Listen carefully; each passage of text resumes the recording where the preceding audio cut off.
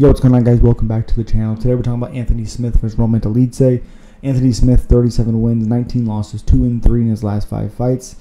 Uh, 35 years old, 6'4", the 76 inch reach. Fighting Roman Dolidze, 12 and 3, 3 and 2 in his last 5 fights on a 2 fight losing streak. Also, 35 years old, 6'2", the 76 inch reach, 2 inches in height for Anthony Smith. The biggest problem I have with this matchup is I think Smith is better in striking. Ooh, hurts my soul to say that. I just think he's he's better in striking, more technical, even though he's not crazy good with his striking. Um, I think his takedowns are decent. He has good submissions at times. I don't think submissions. Or, you don't think he's going to submit Dolidze. But the only way Dolidze wins this fight is if he catches Smith with submissions. I think that's I think that's crazy. I, I, I don't see how he's able to get a submission in this matchup. Um, I, I think Anthony Smith is going to be big. I think he's going to be strong.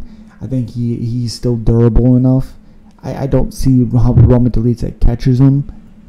I, I can see him pulling something off the bottom because he's gonna he's gonna get taken down. But I think Anthony Smith gets the job done probably gets a finish. Anthony Smith will be a winner, and it kills me to say that because I want the Leeds to win.